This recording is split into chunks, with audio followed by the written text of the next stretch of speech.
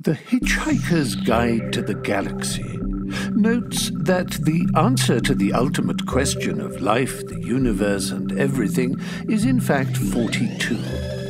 When prophetic author Douglas Adams wrote this, he couldn't have known just how right he was. But first, this is a 42,000 year old tree. We'll come back to that after a note on the paleopocalypse.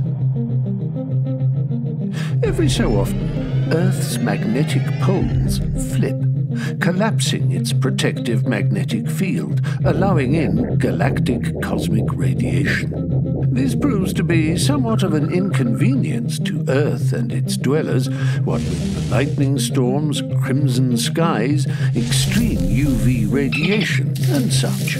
But more on that tree.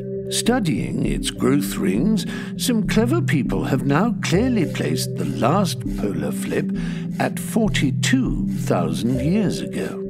As it happens, many not insignificant Paleolithic events share this precise moment in time.